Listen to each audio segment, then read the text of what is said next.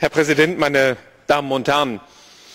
Ich finde es völlig richtig, was inhaltlich hier gesagt worden ist, sowohl zur Entlastung der KMU, auch von bürokratischen Hürden, zur Vereinheitlichung, Vereinfachung des E-Commerce und dazu, dass Bücher, egal ob sie in elektronischer Form oder in Papierform herausgegeben werden, letztlich den gleichen steuerlichen Regeln unterliegen. Ich glaube, dass das wichtig und richtig ist.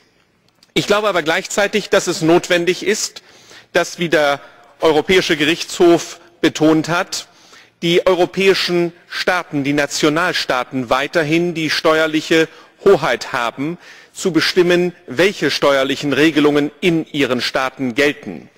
Und das sollte auch die Kommission beachten, dass nicht jede sinnvolle Regelung auch immer auf europäischer Ebene getroffen werden muss. Manches kann auch sinnvoll in den Nationalstaaten weiterhin geregelt bleiben.